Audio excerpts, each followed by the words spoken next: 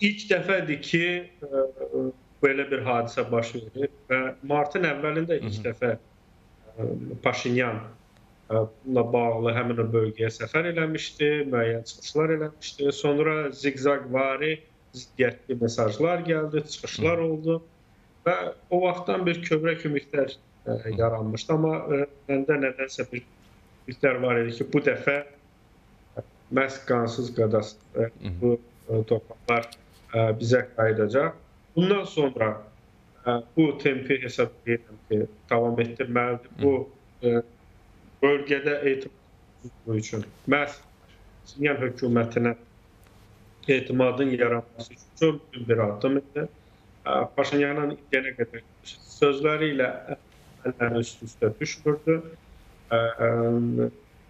Yəni səhər bir şey deyirdi, axşam başqa bir şey deyirdi və ilk dəfə ə, biz bu şəxsə ə, inam yarana bilər və ona görə də bu temp davam edilməli. Mühüm ə, qarşı ə, Azərbaycan üçün olan məsələ Ermənistanın qanunvericiliyi dəyişikliklərlə bağlı addımlanmalıdır. Bu ə, ilk növbədə bizə imkan verəcək ki, sülh müqaviləsini Paşinyanla yox, Ermənistanla və Ermənistan erməni xalqı ilə və dövləti ilə bunu imzalayaq. Çünki bizə sadəcə olaraq indiki hökumətlə yox, dayanıqlı və davamlı uzun müddətli ə, sülh lazımdır. Bu proses çətin olacaq. Ümid edirəm mən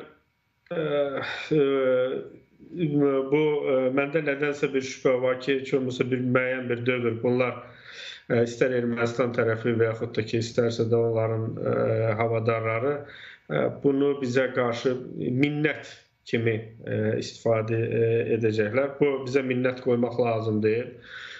Biz haqqımızı olanı qaytar ə, bizə qaytardılar. Bizim torpaqlarımızı bizə qaytardılar. Ona görə heç kim bizə minnət qoymasın. Beynəlxalq hüquq tətbiq edilir. İlk dəfə qansız qadasız ə, və sülh yolu ilə. Buna görə də mən hər kəsi təbrik edirəm.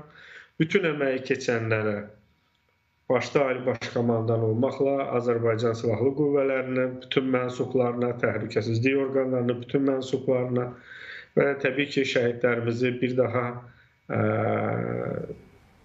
Allah onlara rəhmət etsin.